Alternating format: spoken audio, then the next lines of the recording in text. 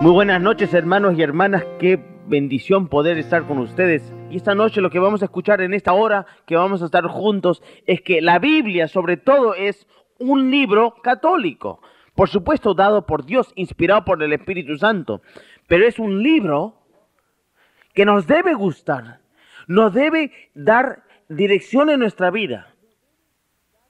El tema que vamos a escuchar esta noche y que vamos a tratar es un tema que yo diría es la raíz de los problemas entre los católicos y los no católicos cristianos. Martín Lutero cuando en el año 1517, cuando quiso separarse de la Iglesia Católica, él siendo un monje agustino, sus motivos doctrinales principales, que eran dos motivos, dos enseñanzas, que por qué se separó de la Iglesia Católica, se puede claramente decir que el primero es que solo la Biblia, el término en latín es sola escritura, solo la Biblia contiene la regla de fe. Todo lo que tú y yo, todo cristiano debe creer en la fe cristiana que la Biblia contiene todo y solo la Biblia, sola escritura en latín, contiene todo lo que uno debe creer y aceptar y vivir. Y la segunda parte de su argumento de por qué separarse de la Iglesia Católica es que solo la fe nos hace justos, santos en los ojos de Dios. Solo la fe, sola fide en, en latín. Y esta noche vamos a tratar el primer de esos dos temas, que si la Biblia es suficiente para enseñarnos, para transmitir todo lo que fue revelado por Dios, si solo la Biblia, sola escritura, contiene la regla de fe para los cristianos.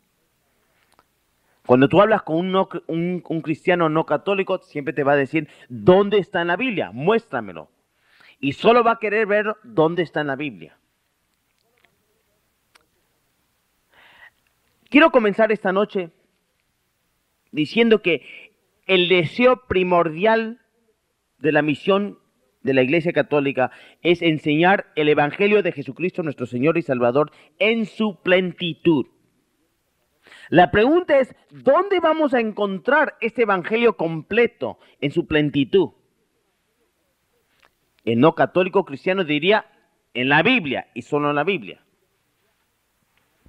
Pero antes de mirar las diferencias entre los católicos cristianos y los no católicos cristianos, vamos a mirar en qué estamos en acuerdo entre los católicos cristianos y los no católicos cristianos, los protestantes, evangélicos, bautistas, tantos de esos, pentecostales, tantos grupos.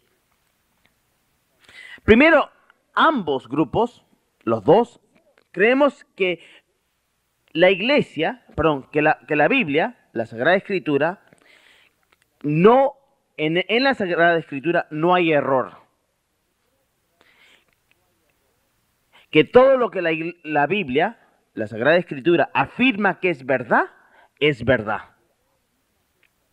En eso estamos en acuerdo, los dos. También estamos en acuerdo los dos que creemos que la Biblia es inspirada. ¿Ya? Solo la Biblia es inspirada. ¿Por qué? Porque Dios es el, el autor primordial de la Biblia. Claro que hay autores humanos, ¿ya? Los evangelistas, por ejemplo. Pero creemos que la Biblia es inspirada. Ha recibido el aliento de Dios el Espíritu Santo. Eso fue lo que movió a los, estos autores humanos a escribir. Y también que la Biblia es infalible. ¿Qué significa eso? Que cuando hablamos eh, sobre enseñanzas de fe, lo que uno debe creer, y sobre la vida moral, que no te va a llevar al error la Biblia. Ahora, ¿en qué, en qué somos diferentes entre los católicos cristianos y los no católicos cristianos? Ellos dirían que solo la Biblia contiene toda la verdad revelada. Todo lo que Dios quiso revelarse como verdad para la fe cristiana está en la Biblia. Solo en la Biblia. Y que solo la Biblia contiene nuestra regla de fe. Pero nosotros diríamos eso no es verdad, los católicos. Un profesor que se llama Alan Schreck de una universidad franciscana de Steubenville, en Ohio, en Estados Unidos, en su libro Católico y Cristiano, nos dice que los, que, los católicos nos da esta idea, que aunque que los católicos creemos que la Biblia contiene primordialmente la revelación de Dios, que Dios también ha querido, ¿ya? Revelarse, revelar su verdad y guiar a su pueblo en diferentes maneras. Este autor nos habla, por ejemplo, que el Nuevo Testamento nos da ejemplos donde el Espíritu Santo revela su verdad a través del don de la profecía. Eso lo encontramos en Hechos capítulo 11, versículo 27 a 30 y Hechos 21, versículo 10 a 12. En los concilios de los líderes de la iglesia. Por ejemplo, en la, misma Biblia habla del concilio de Jerusalén, en Hechos capítulo 15, versículo 28, donde habla sobre el concilio de Jerusalén. Y también a veces Dios ha querido revelarse a, a individuos como Pedro. Hechos 10, versículo 9 a 17. Y a San Pablo también, cuando fue, por ejemplo, convertido. En Hechos 9 se va a ver. Entonces, la, manera que Dios, y he dado solo unas, unos ejemplos, la manera que Dios ha escogido en su historia con su pueblo, con su gente, de revelarse, no es solo por la palabra escrita, pero por la palabra oral lo que se llama la tradición oral. Y eso lo vamos a mirar un ratito. Entonces, aunque nosotros católicos reconocemos el sitio importante, y no quiero en ninguna manera quitarle la importancia a la Biblia, por favor. Todos debemos, más bien la posición de la iglesia era lo que decía San Jerónimo, que ignorancia de la Biblia es ignorancia de Cristo. Y todo católico debe saber la Biblia meditarla, masticarla y por supuesto vivirla especialmente poco a poco en su conversión diaria. Y no quiero en ninguna manera disminuir la importancia de la Biblia esta noche.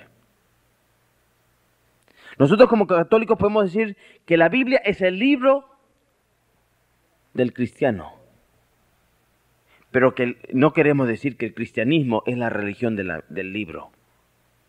¿Ya? Cuando estoy tratando estos temas con los hermanos separados, la primera pregunta que les hago cuando estamos tratando el tema sola escritura es esta. ¿Cómo tú sabes que la Biblia es la palabra inspirada de Dios? ¿Cómo tú sabes? Y ellos siempre van a citar la segunda carta de San Pablo a Timoteo, capítulo 3, versículo 16 y 17. 2 Timoteo, capítulo 3, 16 y 17. Escuchemos. Nos dice, todos los textos de la escritura son inspirados por Dios y son útiles para enseñar, para rebatir, para corregir para guiar en el bien. La escritura hace perfecto al hombre de Dios y lo deja preparado para cualquier buen trabajo. Y ellos dicen, así sabemos que la palabra de Dios en la Biblia está inspirada, porque lo dice que la escritura es inspirada.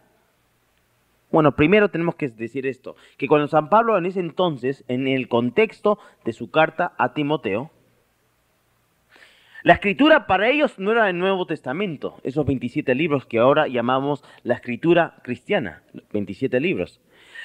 La Biblia para ellos en ese entonces, para Pablo, era el Antiguo Testamento. ¿ya? El Antiguo Testamento. No existía todavía el Nuevo Testamento. Número uno. Número dos. Por supuesto que nosotros creemos que la Biblia está inspirada y decimos con los, hermanos separados, amén. Pero el libro mormón dice que es inspirado. Pero nosotros los católicos y los cristianos, ya, todos los cristianos, no católicos y católicos, creemos que no es inspirado. Aunque ellos dicen que es el evangelio completo de Jesucristo. Pero porque un texto dice que es inspirado, no es necesariamente prueba que es inspirado. Si yo te escribo una carta y te digo, esto es inspirado y es la palabra de Dios, no necesariamente me lo vas a creer. En otras palabras, porque un texto, en este caso, porque la segunda carta de San Pablo a Timoteo dice que es inspirado, no necesariamente eso prueba objetivamente que es inspirado. Igualmente, los mormones, porque su libro dice que es inspirado, no prueba objetivamente que es inspirado. Entonces no puedes decir que es inspirado solo porque la Biblia lo dice. Eso no prueba eso.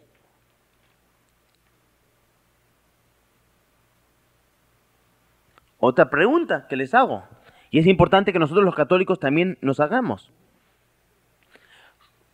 ¿Cómo llegamos a tener, y ahora voy a enfocarnos más, el Nuevo Testamento? Y llegar a la conclusión que estos 27 libros, y solo estos 27 libros eran inspirados. Son la palabra de Dios. Yo les digo a ellos, en ninguna parte de la Biblia hay una lista de libros que Jesús dejó y dijo, estos van a ser los 27 libros de la Biblia. Él nunca le dijo, mientras que estaba en la tierra, antes de la resurrección, a ninguno de sus apóstoles escriban.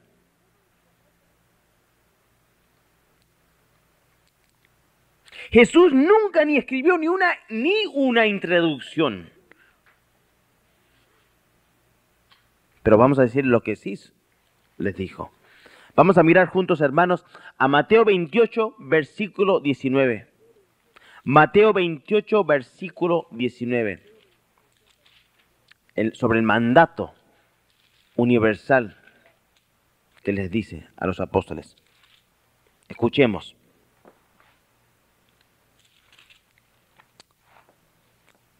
Entonces Jesús acercándose les habló con estas palabras. Mateo 28, 18. Todo poder se me ha dado en el cielo y en la tierra.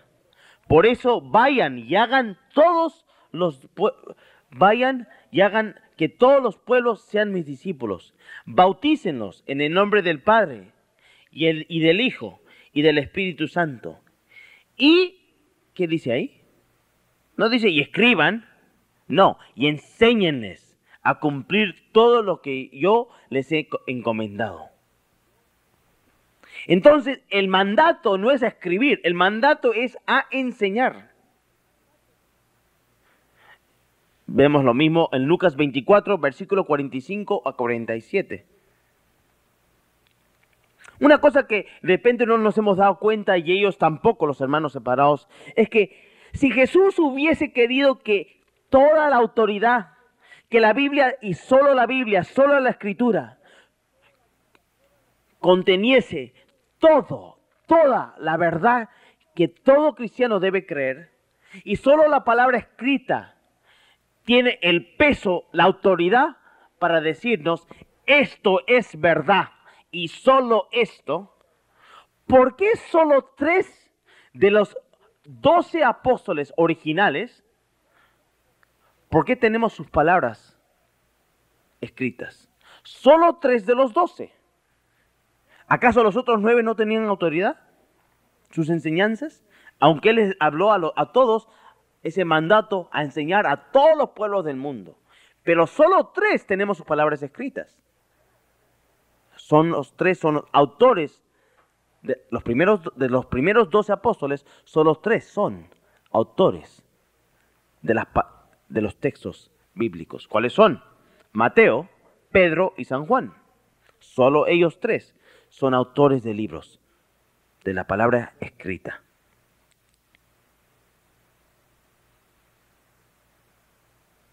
Otra cosa, ¿cómo sabemos? Y esto vamos a tratar después. Yo les pregunto, ¿cómo sabemos que Mateo escribió Mateo?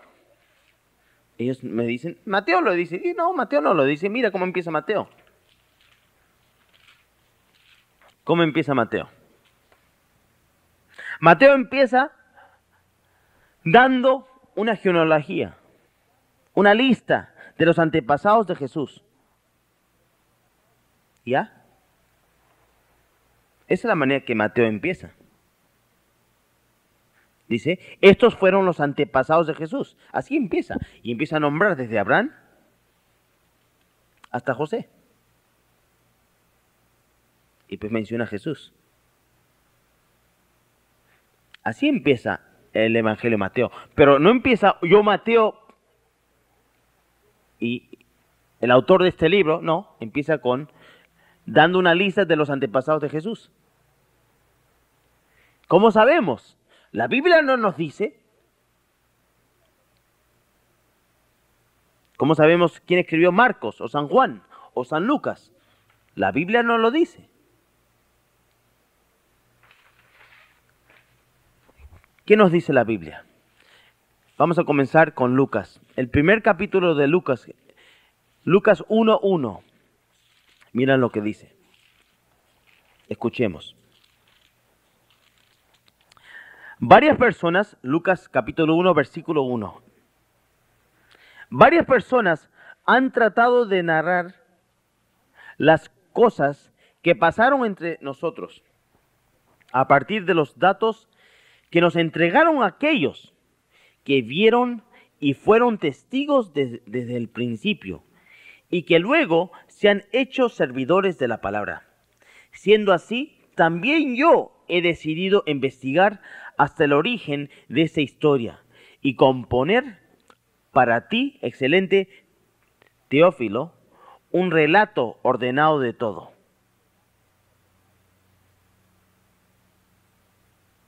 ¿Qué está diciendo? Lucas no fue uno de los testigos originales, pero él recibió enseñanzas, ¿ya? Unos datos que fueron dados por los testigos. Pero ¿cómo fueron dados? No fueron dados escritos, fueron dados oralmente. Y él investigó todo esto y después él ha decidido ahora, después de, de haber investigado todo lo que fue dado a él, ahora ha decidido ponerlo al escrito, escribirlo en esta carta. Vamos a ver a Judas, el, el libro de Judas. Hermanos, es importante esto. ¿Por qué es importante? ¿Por qué es importante esto? Porque tantos hermanos y hermanas se van de la iglesia católica y no saben por qué se van. Tantos, tantos, tantos se van. Entonces, hoy en día, ¿qué pasa? Tenemos el caso que muchas personas se han ido y no saben ni por qué se van. En Estados Unidos hay un dicho que literalmente en minutos se van muchos católicos, especialmente los latinos, hispanos de la Iglesia Católica. Qué pena, qué tristeza que esto pasa. Miremos ahora la carta de Judas en el versículo 3, que nos da otro tipo, esta idea, afirmando esta idea. Dice, amadísimos, en el versículo 3, tenía un gran deseo de escribirles acerca de nuestra común salvación y me vi obligado a hacerlo para moverlos, a luchar por la fe que Dios entregó de una vez a sus santos. Ya Dios había entregado la fe, lo que debemos creer, ya una vez anteriormente. Y ahora solo él quiere empezar a escribirlo. Pero fue transmitido oralmente, principalmente inicialmente. ¿Ya? Y ahora, y solo ahora, está escrito lo han puesto a la letra, a la palabra escrita. Otra pregunta que les hago a los hermanos separados, ¿cómo llegamos a saber, y ahora voy a nuevamente, como somos cristianos, enfocando en el Nuevo Testamento, ¿cómo llegamos a saber que estos 27 libros eran los libros inspirados? ¿Cómo sabemos? Ellos nos dicen, bueno, el Espíritu Santo nos lo dijo. Bueno, sí, pero no fue tan fácil. No fue tan fácil. La lista de libros inspirados se llama el canon. ¿Ya? El canon.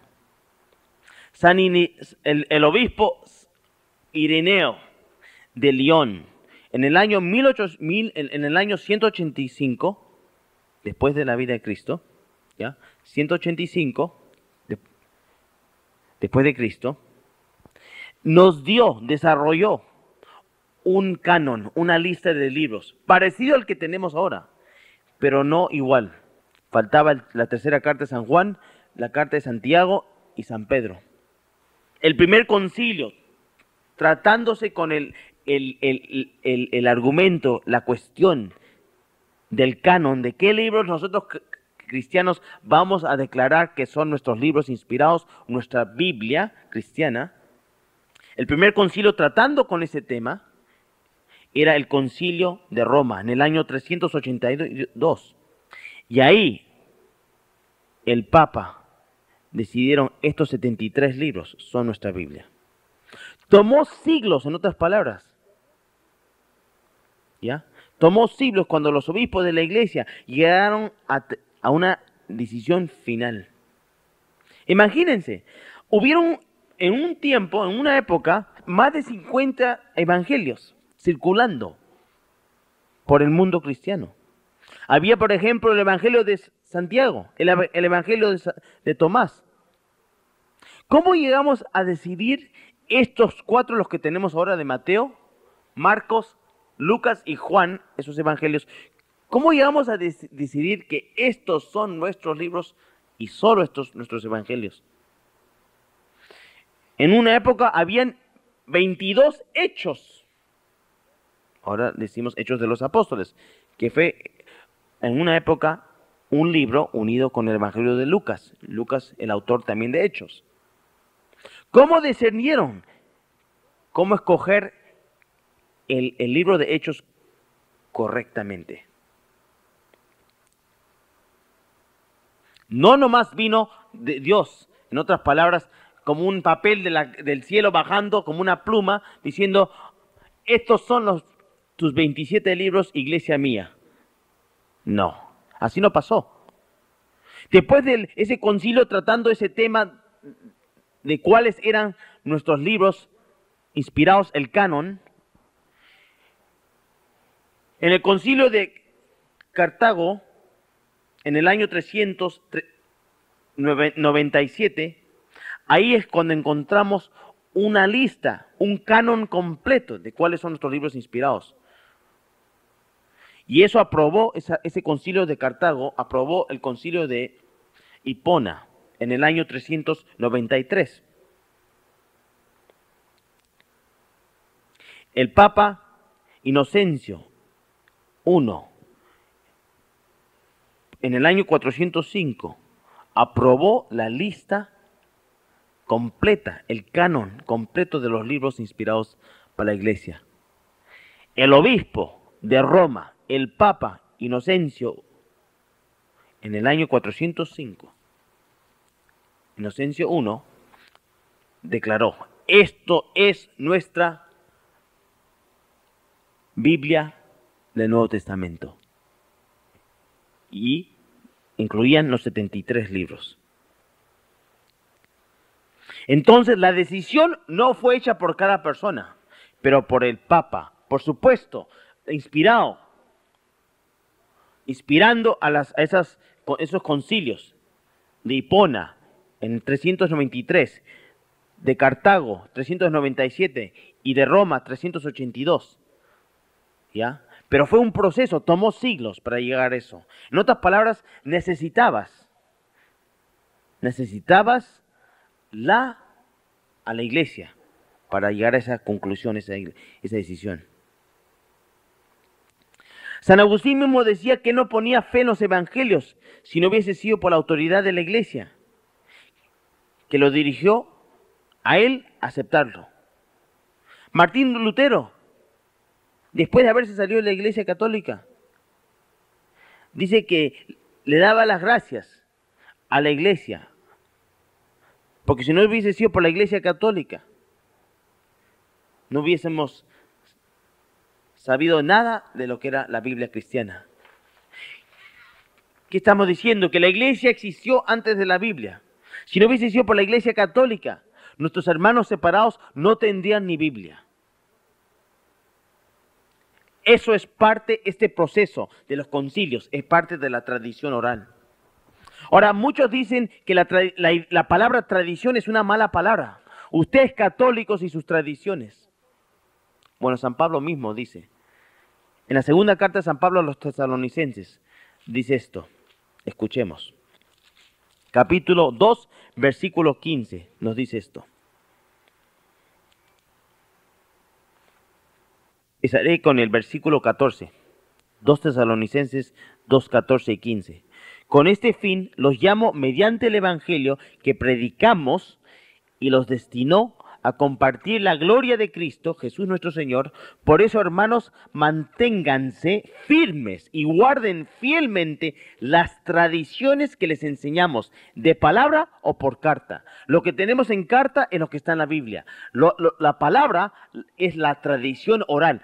Ambas cosas uno tenía, todo cristiano, que aceptarlo y guardarlo fielmente. Esas son las tradiciones. Vemos que entonces Dios ha revelado su verdad y estamos atados a creerla. No solo la palabra escrita. Más bien, nosotros como católicos creemos que la revelación de Dios, su verdad, ha venido en tres medios. ¿En qué forma? La Biblia, la palabra escrita, la, tradición oral y el magisterio de la iglesia que nos enseña y nos interpreta y ha sido prometida que el Papa y los obispos unidos a él oficialmente iban a poder enseñarnos lo que es verdad, sin error. Eso es lo que significa ser infalible, el Papa. ¿Ya? Y Jesús, a través del Espíritu Santo, nos prometió eso. Ese es otro tema. Pero continuando nuestro tema, vemos que no solo uno está atado a creer y aceptar y a vivir lo que está en la Biblia. Porque habla San Pablo ahí que lo que está también predicado. Esa tradición ha venido a través de la tradición orada, la prédica. Eso en la segunda, en la misma carta, en la segunda carta a los tesalonicenses, capítulo 3, versículo 6, mira esta actitud de San Pablo.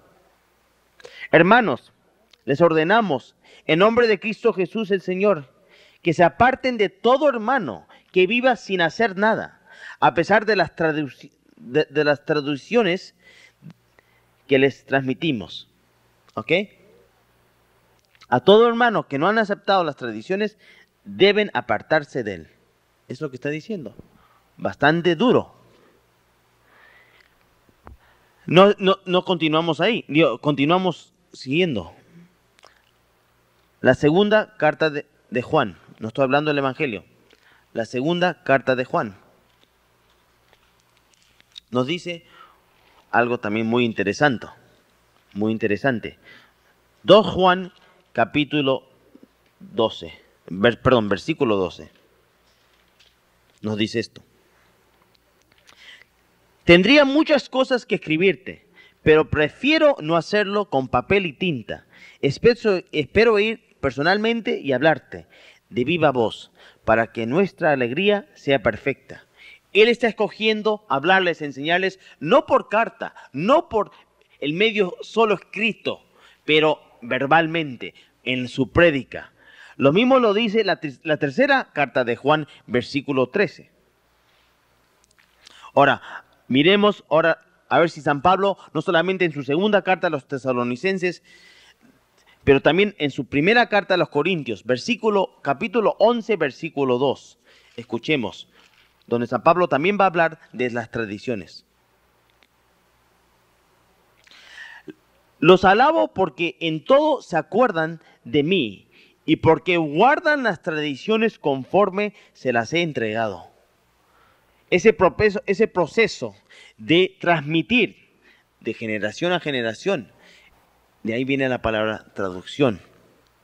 ¿Ya? Pero esto primordialmente, principalmente ha venido oralmente en la prédica.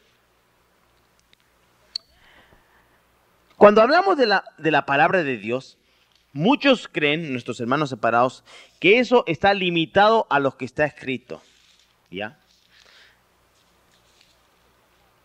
La primera carta de San Pablo, 1 Pedro, capítulo 1, versículo 23 a 25, nos dice lo contrario.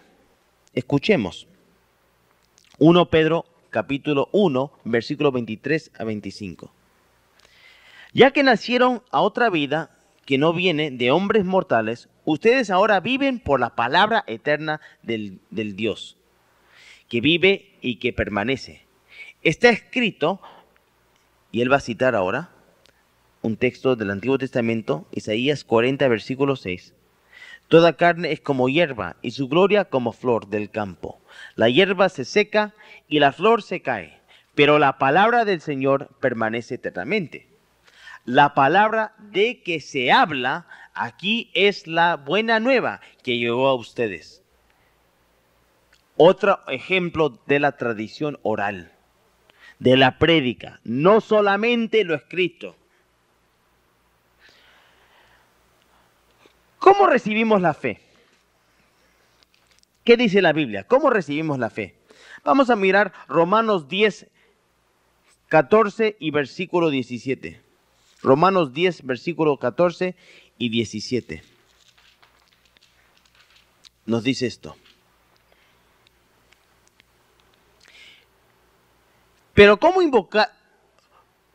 Perdón. Pero ¿cómo invocarían al Señor sin antes haber creído en Él? ¿Y cómo creer en Él sin haberlo escuchado? ¿Y cómo lo escucharán si no hay quien predique? ¿Ok? Ese es San Pablo. Y después en el versículo 17 nos dice, por lo tanto, la fe nace de una predicación y la predicación se arriaga en la palabra de Cristo. Otras traducciones dice, la fe viene a través de lo escuchado. ¿Ya? La fe viene cuando alguien lo escucha, no necesariamente lo lee. ¿Ok? Fe viene a través del escuchar. Es lo que está diciendo Pablo en Romanos 10, versículo 17. Hay otros ejemplos de cómo Dios ha escogido revelar su verdad su enseñanza. Lo que estaba uno atado, todo, todo cristiano atado a creer. Hechos 16:32. Hechos 16:32. Vamos a ver algo muy interesante lo que habla San Pablo.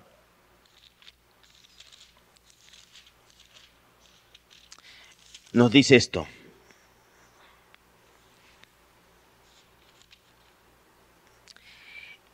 Y le anunciaron la palabra del Señor a él y a todos los de su casa. Está hablando San Pablo acá, donde Pablo y, el, y Silas van a enseñar. ¿Ok? ¿Y qué pasa? ¿Cuál fue el medio que usaron para enseñarles? Le anunciaron. En otras palabras, lo predicaron. En el mismo, en el mismo libro Hechos 20, 25 a 27. Hechos 20, 25 a 27. Vamos a ver algo muy interesante. Escuchemos.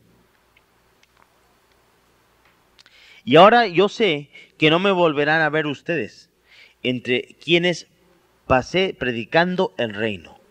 Por eso hoy les puedo declarar que no me siento culpable de nada respecto de, de ninguno puesto que nunca dejé de anunciarles plenamente la voluntad de Dios. ¿Ok? ¿Qué está diciendo? Que Pablo plenamente anunció el plan salvífico de Dios, no escrito, pero oralmente lo anunció, lo predicó. Hay un ejemplo en este mismo libro, en Hechos 20, versículo 35, donde vamos a leer de un dicho de Jesús. Y cuando yo llego a, este, esta parte de mi, conversación con los hermanos, les pregunto, ¿en qué evangelio, qué evangelio usó Lucas para conseguir este dicho de Jesús? Mira lo que dice. Hechos 20, 35, este es muy importante. Escuchemos. En todo les he enseñado que es así como se debe trabajar, a fin de tener también para ayudar a los necesitados, recordando las palabras, recordando las palabras del Señor Jesús, que dijo, hay mayor felicidad en dar que en recibir. Les pregunto, ¿en qué evangelio? Y por supuesto se ponen a nombrar algunos evangelios. La verdad es que en ninguno de los evangelios está escrito esa palabra del Señor. Hay mayor felicidad en dar que en recibir. Solo lo sabemos a través de la tradición oral. Vamos a mirar, también déjame darte otros ejemplos de esto. Hechos 19, versículo 10, no lo vamos a mirar. Hechos 19, versículo 10 y también Hechos 15, 27. Pero ahora quiero mirar a uno que sí es también bien importante que no quiero olvidarme. La primera carta de los Corintios, 1 Corintios capítulo 15, versículo 6. 1 Corintios 15, versículo 6. ¿Qué dice?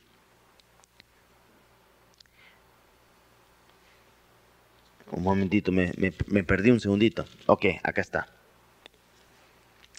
Después se hizo, hablando de, la resurrección de Jesús, después se hizo presente a más de 500 hermanos de una vez la mayoría de ellos viven todavía y algunos ya enterraron en el descanso. Perdón, ya entraron en el descanso. ¿Dónde consiguió esa información San Pablo? Sabemos que la Biblia, los evangelios hablan que Jesús fue sepultado, como dice en el versículo 4 de 1 Corintios 15, 4, que fue sepultado, que resucitó al tercer día. Eso lo dicen los evangelios, sabemos eso como lo dicen también las escrituras, ¿ok? Que se apareció a Pedro y luego a los doce, eso sabemos. Esa información Pablo lo, puede, lo ha podido haber conseguido de los evangelios. Pero esta última parte, en el versículo 6, después se hizo presente a más de 500 hermanos. De una vez. No sabemos esa, esa experiencia de Jesús resucitado a, más de 500 hermanos. ¿Cómo lo recibió San Pablo esa información?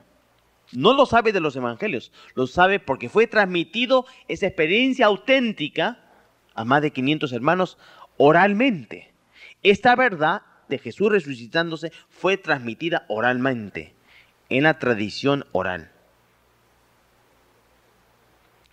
Nos estamos dando cuenta, hermanos, que lo escrito no es el único medio que Dios ha escogido de revelar su verdad.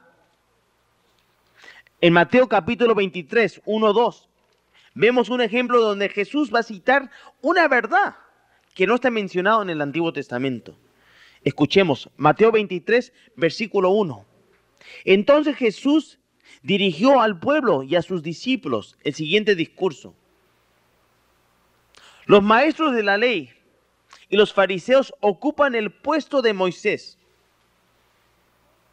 Hagan y cumplan todo lo que les digan, lo que les dicen, pero no los imiten, ya que enseñan y no cumplen. Allí Jesús habla de una verdad, el sitio o el puesto de Moisés. Un sitio donde sacamos la palabra en griego es cátedra donde viene la palabra catedral, el sitio, el puesto, ¿ok? Es un puesto de autoridad, simboliza la autoridad. Pero esa idea del puesto de Moisés no lo vas a encontrar en ningún lugar. Y acá Jesús no está discutiendo esto. Lo está hablando y ellos saben de qué habla. El buen judío, los fariseos, los saduceos, saben de, del puesto de Moisés pero no lo saben porque lo han leído en el Antiguo Testamento, lo saben por la, la, tradición oral, fue transmitido oralmente. Y es una verdad.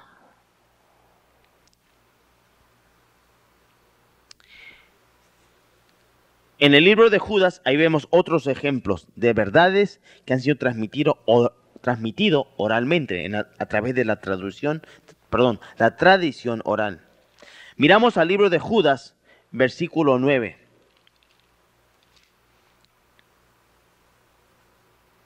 ¿Ya? Judas, versículo 9. Leemos.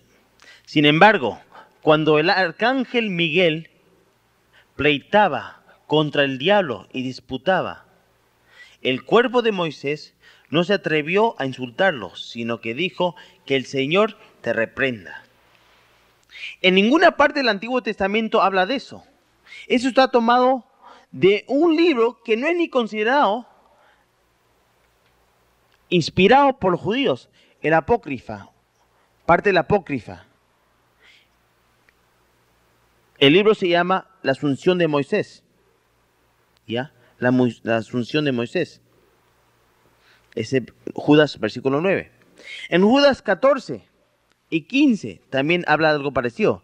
El patriarca Enoch, el séptimo después de Adán, dijo de ellos estas palabras. El Señor viene con miles de ángeles para juzgarlos a todos y pedir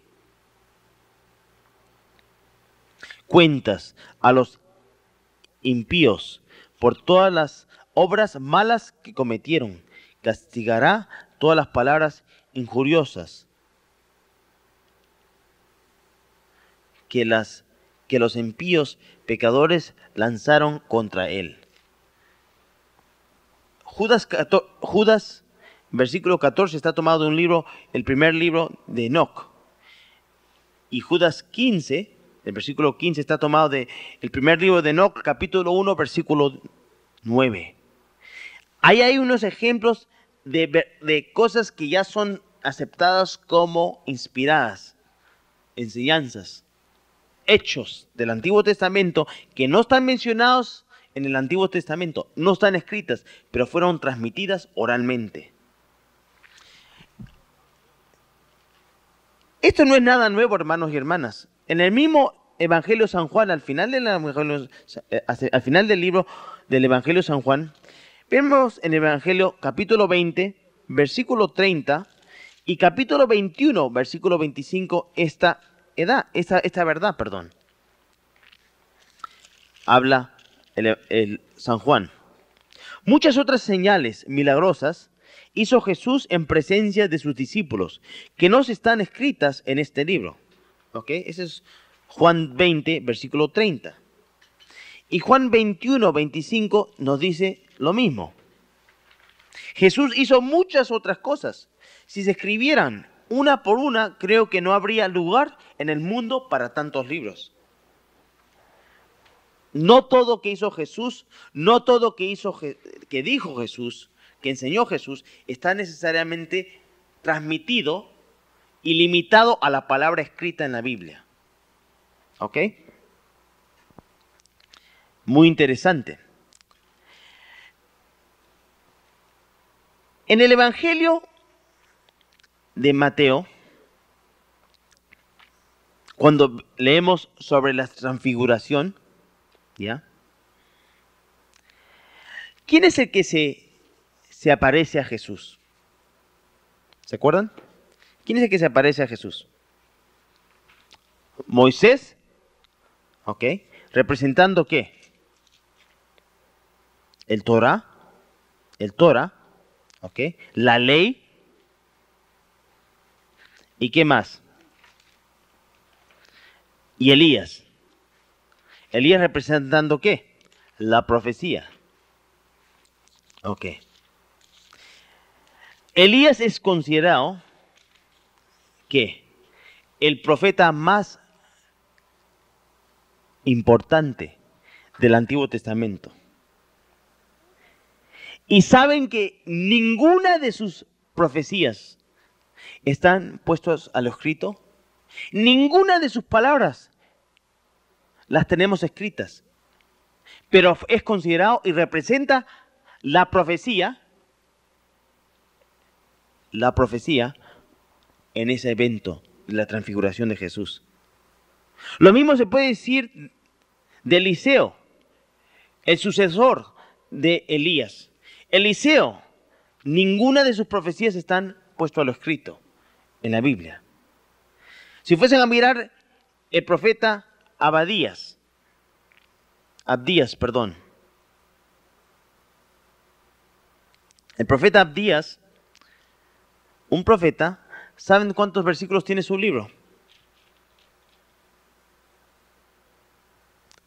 21 versículos. ¿Eso es todo lo que él dijo? Después de decir un poquito más, ¿le taparon la boca? No. Lo único que tenemos de sus profecías que están puestos a lo escrito es, son 25 versículos de información. Por supuestamente, por supuesto que él definitivamente habló más y fue usado por Dios para predicar y, profetizar más. Pero solo 21 versículos ocupan su libro de Abdías. Pablo estuvo en Efesios, en, en, la ciudad de Efesio, 27 meses. Lo único que deberían creer esa comunidad de Efesio, la iglesia en Efesio, era esa carta a los Efesios? Por supuesto que no. Pablo enseñó más que solo esa información que está en su carta a los Efesios. Mucho más, porque estuvo en 27 meses, dos años y tres meses. Yo sé que Pablo hizo y enseñó más que solo lo que dice esa carta a los Efesios y que la iglesia de Efesios deberían creer y aceptar y vivir más que solo lo que está escrito, puesto a lo escrito. Después de hablar de estas cosas, tenemos que hacer la pregunta de quién interpreta correctamente todo esto. Muchos dicen, el Espíritu Santo me va a decir cómo debo interpretarlo. Por supuesto que el Espíritu Santo, no estamos discutiendo eso. El Espíritu Santo, nada pasa al Espíritu Santo sin el Espíritu Santo. Más bien San Pablo mismo dice que nosotros ni podemos, ni podemos decir que Jesús es Señor si no fuese por el Espíritu Santo. Eso no estamos discutiendo. Pero ¿cómo vamos a poder interpretar correctamente lo que dice el Espíritu Santo? Y ellos dicen, el Espíritu Santo a mí personalmente me va a decir, privadamente. Bueno, la Biblia no dice eso. En la segunda carta de Pedro, capítulo 1, versículo 20 nos dice esto. Sépanlo bien, nadie puede interpretar por sí mismo una profecía de la Escritura. ¿Ok? No hay interpretación personal. La, la, carta de Pedro lo dice. Y también sabemos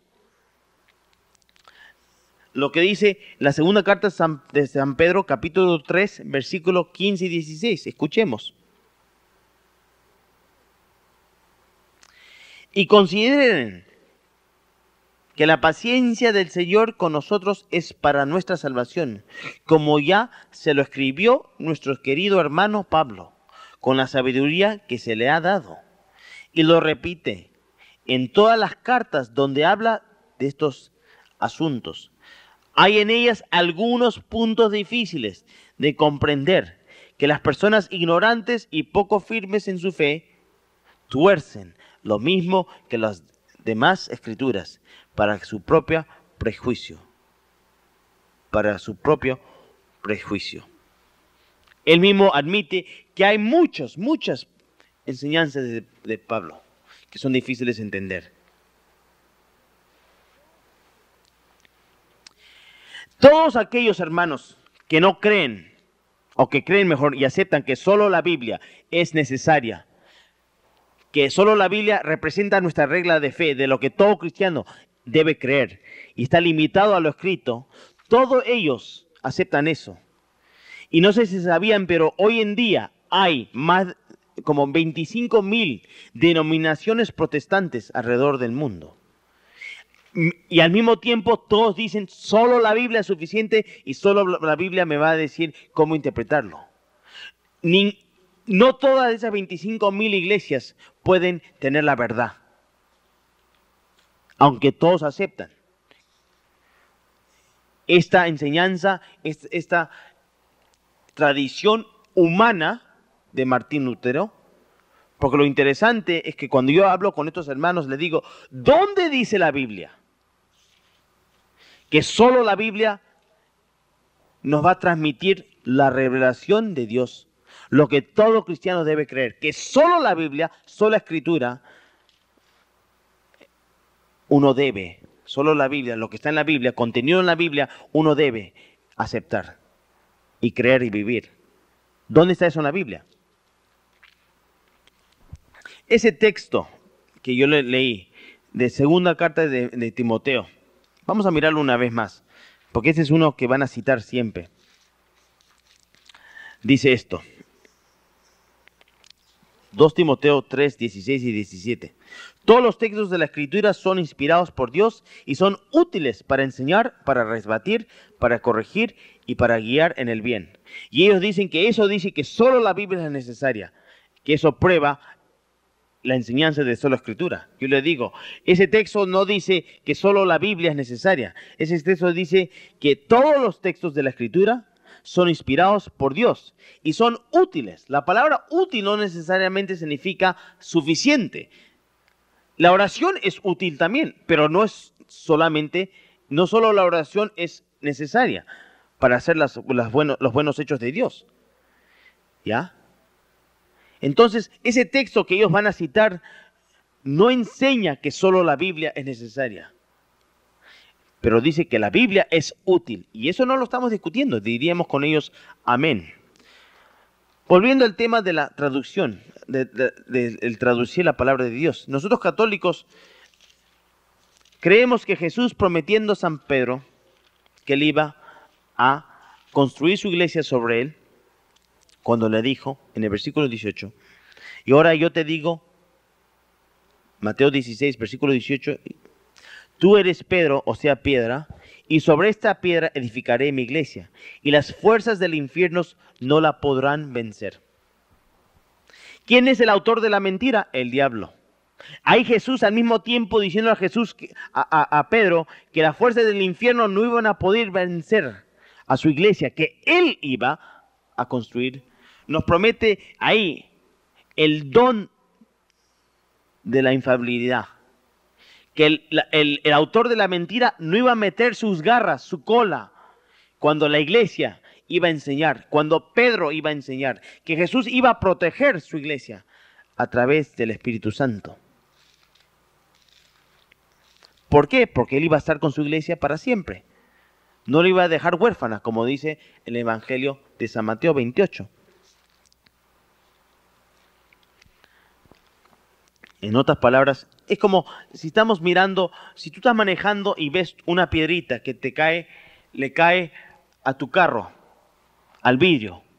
¿Qué pasa con ese huequito? A unos meses crece, crece, crece, ¿no es cierto? Y eventualmente está rajado el vidrio, la luna de tu carro por todos lados. Así pasa cuando entra el error. Poco a poco se desparece, se hace pedazos, mejor dicho esto. Jesús prometió en Juan 16, 13, prometió esto. Juan 16, 13. Prometió que el Espíritu Santo, y cuando venga Él, el Espíritu de la verdad, los introducirá a la verdad total. Él prometió que íbamos a tener la verdad total. ¿Ok? Ahora, Pregúntale al hermano, ¿qué dice la Biblia que es la base y la, fundación de toda la verdad?